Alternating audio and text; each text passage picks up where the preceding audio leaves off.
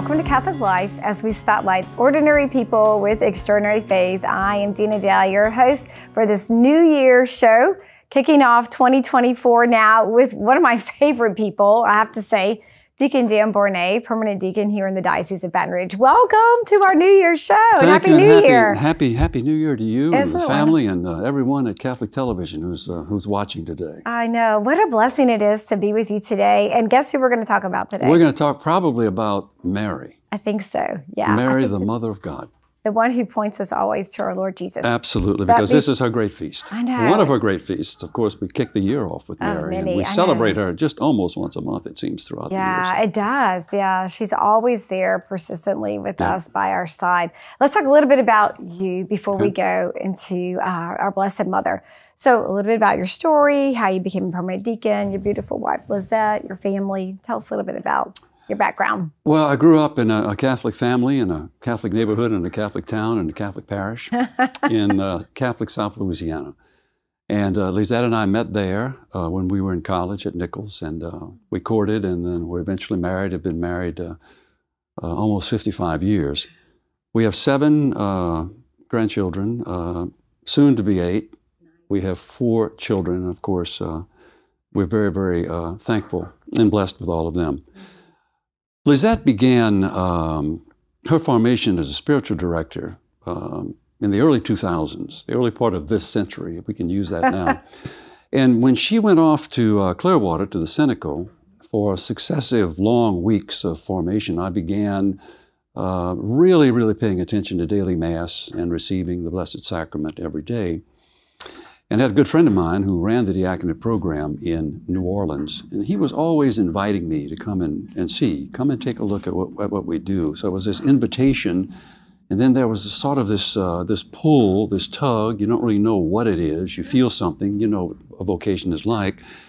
And gradually, it became more than a tug. It became something that I really wanted to uh, explore. And so I began going to um, inquiry sessions uh, in New Orleans. And as it worked out, um, I decided to apply for formation. Timing was bad here in Baton Rouge because of the way we sequenced those classes back then. So, thanks to Johnny uh, Carville, our vicar, and Bishop Muench and Archbishop Hughes, I was permitted to start formation in New Orleans and then move up here to Baton Rouge to finish it. But because of the timing, I was in formation in both New Orleans and Baton Rouge for one full year. At the same time. So wow. every same every every weekend Yeah. we, were, we were either going there or here, but it worked out wonderfully, and uh, I ended up uh, finishing because of that duplication. Although the courses weren't duplicated, uh, actually in four and a half years. So was ordained in, in June of 2010, and then was immediately assigned to Saint Jean Vianney with uh, Father Tom Ranzino, who at the time and until recently was Vicar General. And I've, I've been there for over 13 years. And just a couple of months ago, I retired from parochial service, from service at Saint Jean. Uh, made that decision when Father Tom made his decision, his decision to retire. Right. And so that was a smooth transition. Uh, there are four very capable deacons still there with uh, Father Eric, and they're doing a great job. And I'm still working for the bishop uh, in the, uh, the media office, uh, media representative for, um, for the diocese. Still working uh, with Father Tom in the office of worship on, on things. So I'm staying very busy, um, and uh, God has blessed me with an opportunity to uh, travel around the country and to speak to Catholic businessmen and Catholic businesswomen Wow. in an organization called Legatus. Yes. And so for the last year, uh, I've been to maybe uh, 10 or 12 states speaking to Legatus groups, and I have about 10 scheduled here in 2024. Really? So that's taken up a lot of time, and uh, it, it was a point in time when, when you start ranking family and other things, I thought maybe uh, passing on the parochial work was uh, the appropriate thing to do, and the bishop was very understanding. So I, I love to hear how the Lord is leading you through all this, like different areas in the mission field, I call it, in the vineyard of service. Yeah, and it- now you know, these sharing things, all that knowledge around the country. Yeah. They, they, you, think they happen by accident. Yeah. The Holy Spirit They don't. Yeah. programs everything, and we know that. But yeah. I was a, I was a pinch hitter for a Legatus group in Lake Charles. A friend of mine ran that organization Mm-hmm. in Lake Charles, and I'd never spoken to a Legatus group. And went over and spoke. And the regional director for Legatus was there at the time. Ah, And yeah. uh, he became the linchpin and has plugged me in now to two, three other regions around the country. Wow. So that was uh, it was uh, it was a Holy Spirit type thing, and and I do it uh, because it feeds me. Mm-hmm. It it helps me better understand my vocation, my mission, and how that equates to the to the broader uh, experience. And of course, Catholic businessmen and women, all of them are very successful. They're all uh, charitable. They they do good works. Um, and what we talk about is uh, stories. And I use stories from uh, from athletics, from faith, from business, from you name it. And in each one of those stories, I try to make a um, a point of theology, a moral point, and a business point. It's worked out pretty well. You know, as long as they don't throw rolls at you and uh, they feed you dessert, During uh, your dinner. I, am good. I'm good with that. It's been a real blessing to do that. Gosh, I can I can only imagine the inspirations and thinking about it from the perspective of evangelization. It is the stories, the witnesses of faith Yeah. that we grow and encounter our Lord Jesus through someone else's stories, and and that triggers memories, or that triggers opportunities for us to hear how God is working in your life. Well, or someone that else's book, life. the book you have there, the book is a book of It stories. would be called the Bible. It's a wonderful book Yeah, of, uh, yeah. of, of history, of uh, inspiration, Yeah. of poetry. Yeah. Uh, and so it's, it's, it's the story of the salvation Yeah, his of story. man and woman. Yes. And uh, through Jesus Christ, of course, and through his, uh, his mother. And that's who we're going to talk about, especially the Blessed Mother and her story, which is unbelievable. There is such a deep devotion um, to the Blessed Mother in our faith. We've just experienced Christmas, Mm-hmm. celebrated the Holy Family. Now, entering into the new year, the church, in her great wisdom, you know, chooses the solemnity of the Blessed Virgin Mary to start off a, a, a calendar year, right? With her, the liturgical year has already begun. Right. The first date of that back in uh, first Sunday of Advent. But here now we begin this year with the Blessed Mother. So interestingly, I I wanted to kind of take a take on this about going through the names that we refer to the Blessed Mother. So the first one is the Theotokos, right? So we can start the year off with a good Greek word, Right. and Theotokos. So you know, uh, um, Theotokos, Mother of God, God Mother. Uh, well-meaning people debated this for centuries. Yes. They were they were uh, chewing on it, you know, for uh, for centuries, and and finally, uh, in the Council of, of Ephesus in 431, it came down that, you know, Jesus is uh, got two natures, divine and human. Of course, his human nature comes through through through Mary. That's the incarn- incarnation and his divine nature from God. So he is both divine and he is human.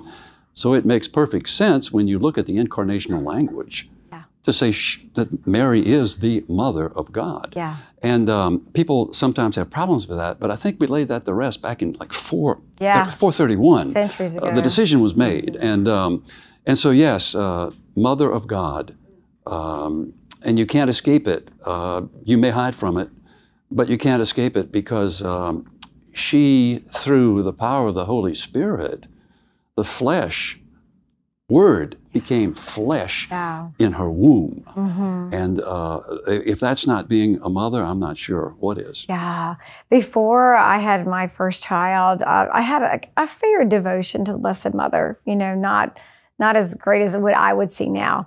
Um, but after I became a mother, and e- e- throughout my first pregnancy, I was drawn very close to the Blessed Mother because I'm like, oh, well, Mary carried Jesus in her womb. You know, so.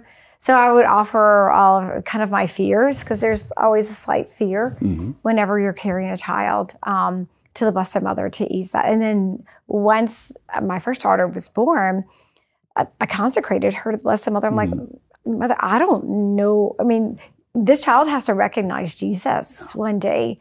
So help me to do that.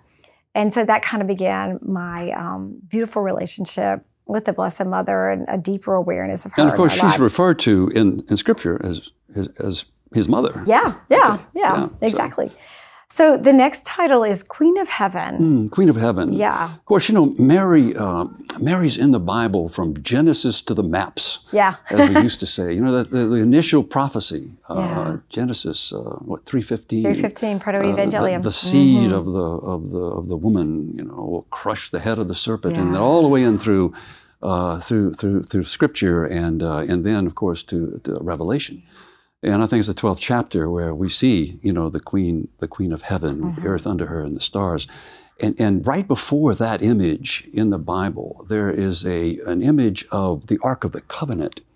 And so what we see is the is, is a reference to the old Ark of the Covenant, which went into battle with the uh, you know with uh, with the Israelites when they battled evil, uh, the Ark of the Covenant, the Word of God in the Ark, and here we transition to the fullest embodiment of the Ark of the Covenant. Mary, in her womb, comes forth the child who will battle Satan. It's a beautiful poetic image, but it's it's much stronger than that. You know, it, Ignatius has this. Uh, uh, this uh, meditation of the two standards. And he talks about the army of Satan over here with the standard and the army of Christ over here with the standard. And he asks, which of the armies will you join? Because the basic decision that you make, which standard you choose to fight under, is the way your life will be led and the way your life will be rewarded. And so, yes, Mary, uh, Queen of Heaven, absolutely. Uh, the Queen Mother, uh, Mother of, of the King, Yes. is the Queen Mother. Yes. So, yes, beautiful image. Yeah. And it's been around for a long, long time, too. It's not something that we've simply pulled out of the sky and say, look, we, here's another name. No, no, no. yeah. It's been something that we have, that we have, they've honored for centuries. Yeah, yeah, it's seeped in sacred art too. I'm just thinking about our previous conversation about, uh, you know, just traveling Europe and, and Italy especially, and just seeing this, you know, image depicted in art.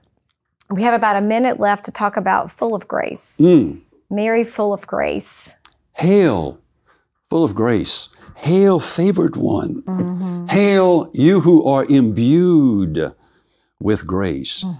And, s- and some entity full of God's grace can be no place for sin. So here was Mary with the angel Gabriel declaring to her just how special she was in this plan of redemption.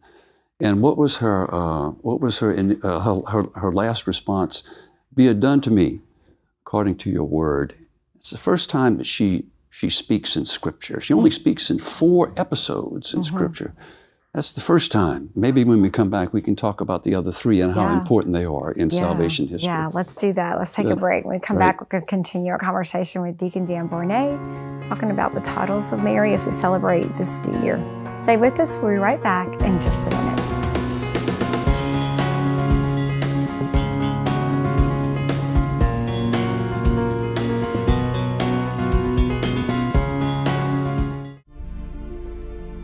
On our life's journey, as we seek purpose and connection, we are called. Called to place our faith and trust in something greater than our own understanding. We are called by someone who already loves us and offers himself to us Jesus Christ. His body, given daily, His blood poured out for us. We never journey alone in life. Through the Eucharist, we encounter His real presence and others who share our faith. Together, we become one with Him in His very flesh. And when we bring His presence out into the world, we can be light for others. This is the gospel call to make disciples of all nations, laying down our lives for others. The time is now to unite our hearts with His for the life of the world.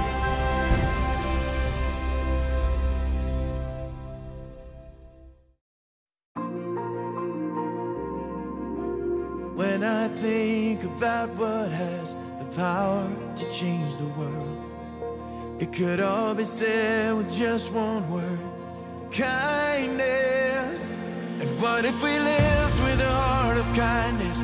What if we loved like we've been loved?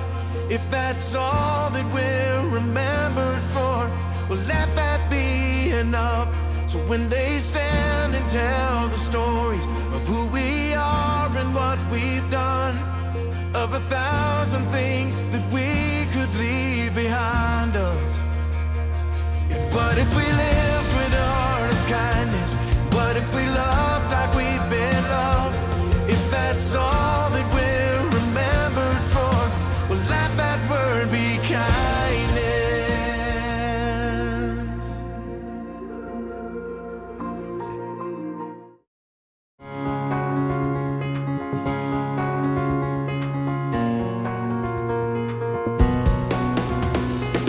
Catholic Life as we spotlight ordinary people with extraordinary faith. I am Dina Dow, your host. Still with me is Deacon Dan Borné, permanent deacon here in the Diocese of Baton Rouge, retired, but not, right? Still doing Yeah. speaking Still busy, still busy. around the country. I love this. Um, so, January 1st, we're celebrating the new year, talking about the Blessed Mother. Mm-hmm. And continuing to go through the titles of Mary. So we've talked about Theotokos, Queen of Heaven, full of grace. I love this one. Our Lady of Hope. A lady of hope, of course. Um, you know, hope is one side of a coin, faith is the other side. And um, what you saw in Mary is a, uh, a young woman, uh, a virgin, tasked with uh, an incredibly awesome responsibility, and that is to, uh, uh, to be the, the Ark of the Covenant, giving uh, flesh to the Word. Uh, it took a tremendous amount of faith on her part and a tremendous amount of continuing hope in the Lord to know that God would provide. And throughout those, uh, those journeys that they made, when Joseph, who said nothing but did a lot, uh, would take them to Egypt, return them, and uh, be the, the foster father for uh, God on earth, uh, Mary had, had to be nothing but a hopeful, a hopeful individual. And her hope was in the Lord, of course. Uh, be it done to me according to your word. There it is. So that's hope spelled in a sentence, basically.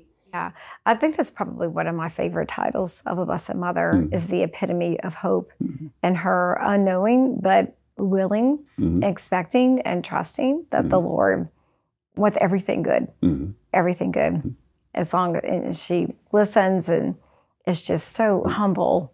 And again, you know, allowing the grace you know, to lead her in that.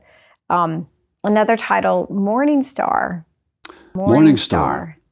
Yes, of course, uh, it's very poetic. Uh, Yeah.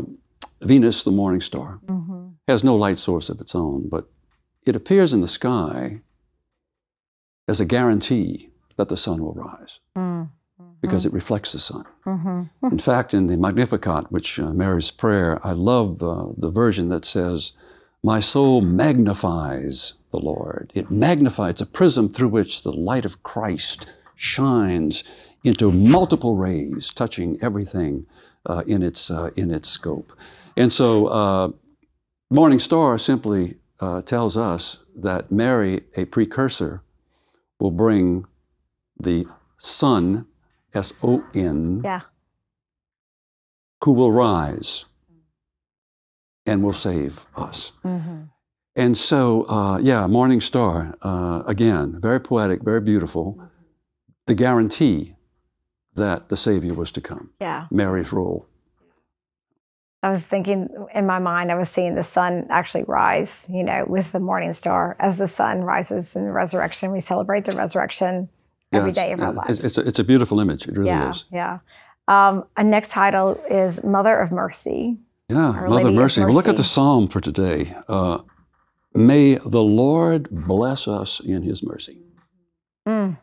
Uh, you know, mercy is another five letter word that spells Jesus. Yeah, Um, yeah, mercy personified.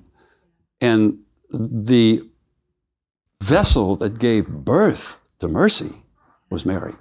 So, how could she not be the mother of mercy? right. Mother of Jesus, mother of mercy. Mm-hmm. Can only imagine the enormous amount of compassion and love that she has for her children, her adopted children, us, you know, given by her son. Well, that's that's right from that Galatians, another reading for yeah, today, where we become adopted children Yeah. through the woman. Right. Okay, Yeah. and guess what? Heirs Yes. to the kingdom. Yes. What a yeah. beautiful image that is. Yeah. So she's not only the mother of God, she's Mhm. our mother too, because Yeah. we have been adopted through her birth of the of the Son of God. Yeah. Yeah. Yeah. Yeah. Children. It all you see, it all works. It all fits. That's what's so marvelous about our theology. Yeah. Yeah. It all fits if you if you if you if you work on it and you let it work on you, you will see that it all fits. Right. So another title is in, in union with this is Mother of the Church. Mother right? of the So Church, of course, Mother that was Mm-hmm. uh, yes, indeed, that was proclaimed by Pius VI, or reiterated at uh, at the council back in the 60s. Uh, the mother of the church, she's mother of Jesus, who is uh, the head of the church. That Mm. makes uh, Mary the mother of the church as well, doesn't it? yeah. Yeah. And she has her own feast day too. So that is- Absolutely. uh, Oh, yeah, under yeah. under that title. So, Yeah. Right. And one, out- the last one out of the many, because you can only do so many in a half hour show, is Our Lady Untier of Knots. I love that one. I do too. I love that yeah. one. There's a beautiful painting that in, um was inspired by the words of Saint Irenaeus. Uh, a German painter by the name of Schmidtner did uh, a painting, and it hangs now in, in a cathedral in Augsburg, Germany, of Mary cutting a rope full of knots. And this is what inspired the, um, the author. Uh, Eve, by her disobedience, tied the knot of disgrace for the human race, whereas Mary, by her obedience, undid it. Irenaeus said that, and that became the, the inspiration for this beautiful painting, which, by the way, Pope Francis has fallen in love with. And uh, you know, he was shown uh, pictures of it, and he, he asked that it be you know spread around. And so here, the Our Lady of the Untie of Knots, or the Undoing of Knots, now another great name for, for Mary. Yeah. And it goes back to Irenaeus in the in 200 when he was martyred, and then in 1700 this uh, this painter picks up the idea and, and paints this beautiful. just brought to life again, again through the beauty of sacred art. At Right. the World Meeting of Families in 2015 in Philadelphia, it's a very large display of the Mm-hmm. image of Our Lady Undoer of Knots. And the pilgrims for that um, particular event were called to pick up a long ribbon Mm. and write down petitions and tie the ribbon all around the image of. And then Pope Francis passed by and Mm. blessed it all. It was just, it was the first time I'd ever really experienced something that profound and international, but at the same time, too, really focusing on, you know, that title of the Blessed Mother, which I had not heard of previous to that. So as we go into this new year, um, what are the things that have us knotted up? Right. Yeah. You know, what are the things that uh, that are knotty in our lives that uh, we need straightening out? uh, Mhm. Commit those to Our Lady. Commit them to Our Lady uh, because she's uh, she's very adept at interceding. The last words that she says in Scripture Mm. uh, were at Cana. Uh, when she, she tells Jesus, uh, they have no wine. And, and, you know, Jesus has this look on his face, Qua? What? No Yeah. wine? It's, it's not Yeah. my problem. Right. And then she says, do what he tells you. Mhm. And the stewards then bring in the water made wine. So Mary uh, tells us to do what Jesus tells us. Those are her, her, her last words as she realizes, I think, with those words and that miracle, he is beginning the walk toward Calvary, to his passion, his death, and his resurrection. Right. Only a mother could feel and know that at that time. At the same time. Yeah. Which I was thinking, how can we, as, as parents and grandparents now, share our, our love and devotion and the beauty and the witness of the Blessed Mother in our lives? Everybody has a mother. Mm. Everyone. And, and, and I know some people have problems with, with mother stuff. Yeah. But in the end, most people love their mothers. Mm-hmm. And I think if we can, if we can analogize Mary's love for Jesus to my mother's love for me, Hmm. or my daughter's love for their children, uh, it gives them an image of this relationship between Jesus and Mary. And I think it imbues in them a feeling that, you know, uh, that if Jesus loves me and Mary loved Jesus, then Mary loves me too. Yeah. Uh, Yeah. and I think we point to our own mothers and use them as examples of loving care. I think the older you get, the more you realize how smart your mother is. Yeah. Was. Isn't that the truth? You know? Sorry, mom.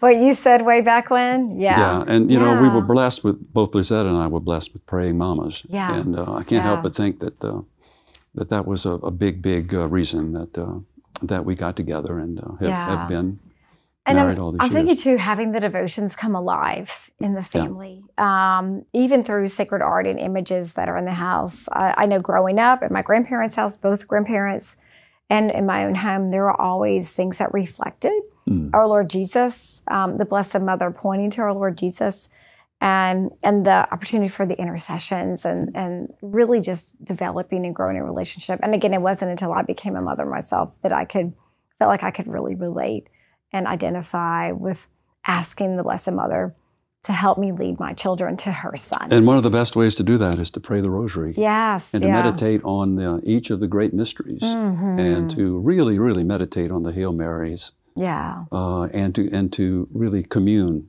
Yeah. with Our Lady as you pray those uh, those great mysteries. Yeah, I think family rosaries are really good, even when the children are little. Mm-hmm. You know, to do uh, just a decade. You know, even a decade. Uh, and the Hail Mary seems to be a, a go-to prayer. I know that one of my pastors, when I worked with him, we would go into kind of the memory care unit of some of the nursing homes, and as soon as he began the Hail Mary, um, even those with memory issues could just go straight in. Louis de Montfort, the great uh, Dominican tertiary, he had this to say about the Rosary and about Mary. He said, God made an assemblage of all the waters, and he named it the sea, which in Latin is, is mare. Mm.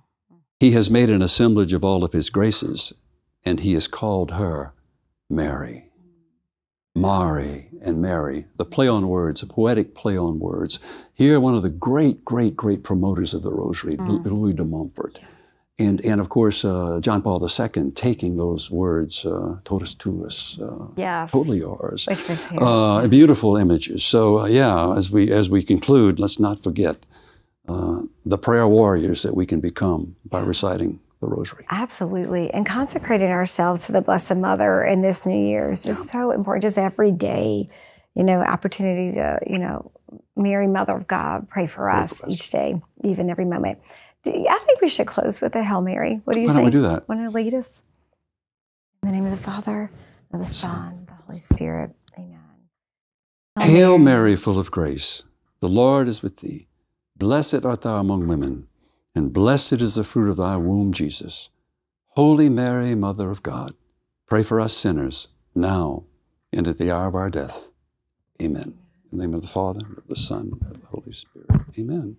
Mary, Queen of Heaven, Pray for us. Thank you so much, Deacon Dan Thank you for having me, I've had and goosebumps. Happy New Year I've had again. goosebumps this whole show. I'm just really grateful for your ministry, your mission. You're gonna have black eyed peas today and all those things? Uh, yes, and lots of cabbage, even though my husband doesn't eat that.